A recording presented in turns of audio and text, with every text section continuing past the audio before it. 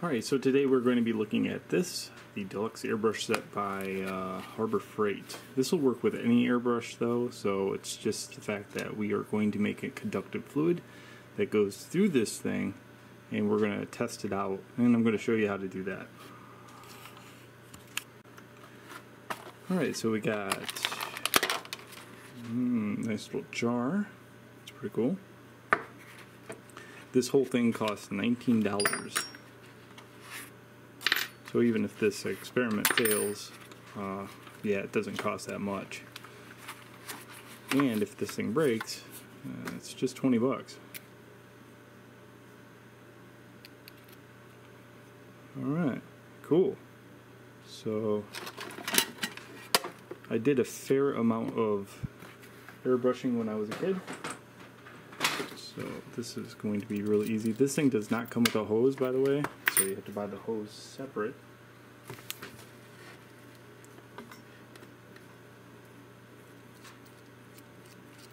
Uh, the hose is seven dollars.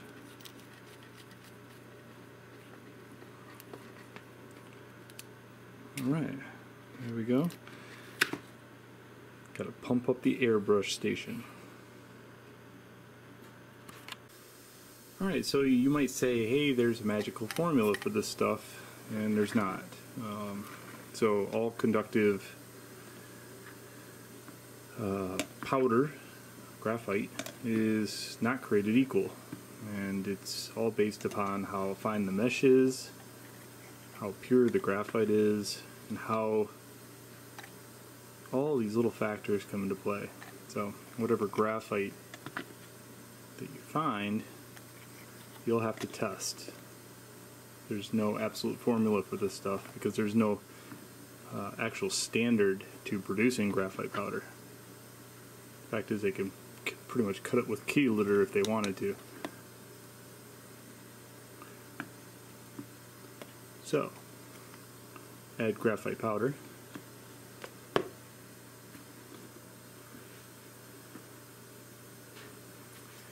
I would find a container that has a marble in it. So there's a marble at the bottom of this. And I'm using uh, my favorite ink, Speedball. I start out with about 50-50 combination of these two.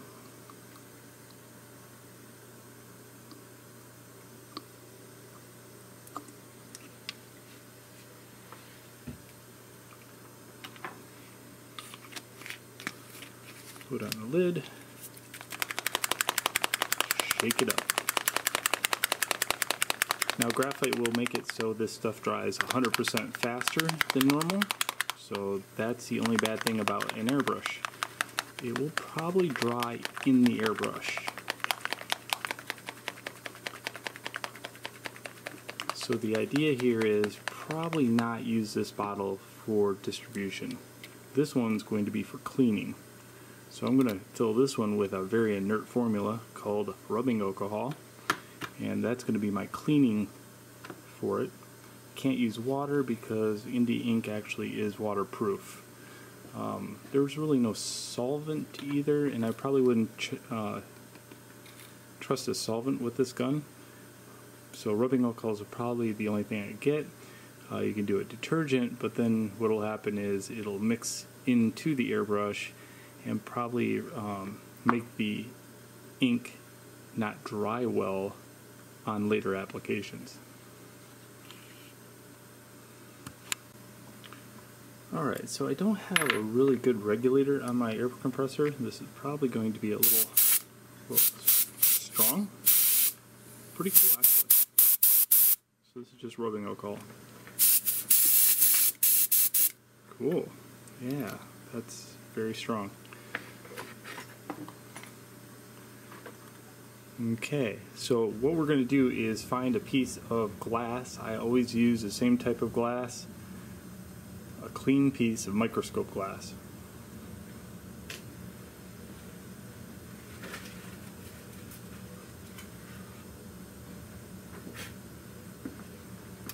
Found this uh, place on Amazon that you can actually get wire ones. Put a link below. Doesn't really matter though. Alright, so the idea here is to just add a little bit to this cup.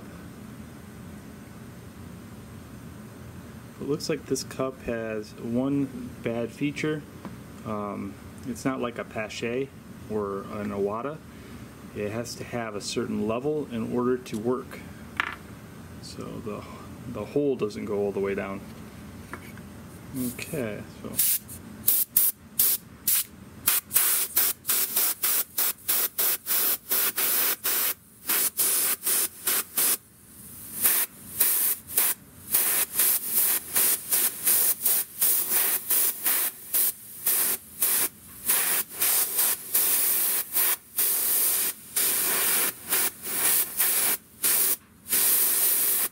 if this works, I'll go get a regulator.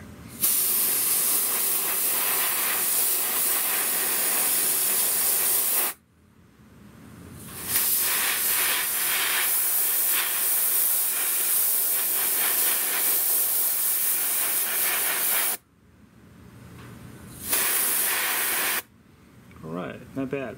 Here's the thing. You're spraying graphite. I'm wearing a mask, by the way. But uh, any graphite powder in the lungs is totally horrible. So please wear a mask, respirator, whatever you have available. So I'm going to let that dry and then we're going to measure the conductivity of it to see how well it holds up. So as soon as I get done with that, I now clean it out. So the first test you need to do after you spray it is the carding test, which is basically taking 0000 steel wool and just take and go like this to the area and make sure light can't pass through it. Um, that is an amazing test when it comes down to it so that you can gauge how well the graphite is stuck using the bonding agent which is the India ink. Now you do not need to, let's say if you had an object, uh, card it. You do not need to go in and scuff it up. Uh, this is just to test the adhesion level. So when I do measure the conductivity in the next part, I will choose an area that is not carded. Alright, so to measure conductivity on this stuff is very easy. You, don't have to scuff up the area by the way. That's just to show the adhesion level, right? So just choose an area that's not scuffed up after you play around a little bit and then grab your multimeter and put it in ohms resistance see the little horseshoe choose that okay and then make sure your common is plugged into common and then your lead wire is running onto the ohm. So this is hooked up to ohm on this side. So now, uh, just to show you, you just touch the two leads together, watch what happens, boom, should go to zero. Okay, so now what we want to do is just choose one centimeter, okay, one centimeter of space that's not scuffed up and choose it like that okay? And then we'll look at the multimeter at the same time.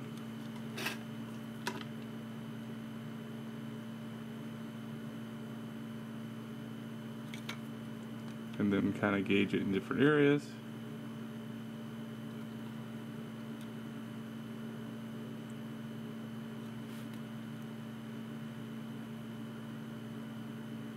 So what you're looking on average is in the ohms range. If you look here, 134 ohms. Okay, uh, not K. So what we want to do is stick within the range of like, I would personally, in my humble opinion, stick in the range of 400 ohms all the way up to zero. Okay, those are good ranges for conductivity. If it starts climbing into the K range, 1000 ohms, uh, then you're going to have a very, very slow plate. it can be done, but it's going to be very slow. Alright, so that's the easy way to show conductivity. Now, if it fails, let's say it fails on average, then you add more graphite, just a little bit, and repeat this test over and over again until you get, on average, into the ohms range of things. So this is a product called PB Blaster Dry Graphite Lubricant. Okay? So uh, I've seen a lot of this being used in the forum and what I wanted to do was show you the test on this. Okay? So what we're going to do is we're going to spray the same piece of glass using this, let it dry, do a conductive test, and also do a card test on it which is basically scraping it. First off, this is kind of how it goes on. It's very uh, reflective. So I'll throw it or put it off to the side and let it dry. Alright, so I had to do about three coats on here to get it to um, kind of like a thickness that light didn't pass through, but it still got light passing through it pretty, pretty significant amount. Let's see if I can. Uh, that's a dead battery. Okay, yeah. So yeah, if you hold it up to the light up there, you still got light. So let's let's go and do the card test. So we're gonna card it, and it completely wipes off. Alright, so the adhesion level definitely isn't there because it's not a paint, it's an actual um, lubricant. So there's no catalyst, there's no bond, there's no colloid there. Alright, so let's go on power, check its ohms.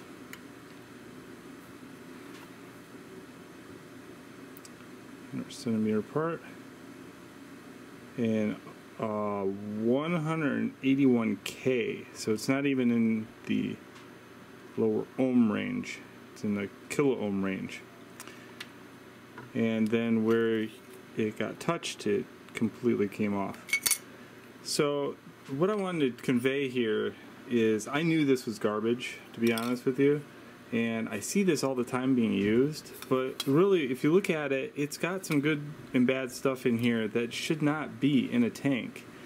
Um, so if you've been using this and it works for you that's awesome but you're kind of probably going down a, a road that you don't want to go down sooner or later um, with things being in your tank that shouldn't be in there. Uh, the and it definitely doesn't have the adhesion level that this stuff I showed you how to mix does. And I know it's really easy and convenient that it comes in a can. You don't have to have an airbrush. You could just kind of like go at it. That's that's one thing. But personally, I would stay away from this product. Don't put this stuff in your tank. Just in my humble opinion. So, I hope you liked this video.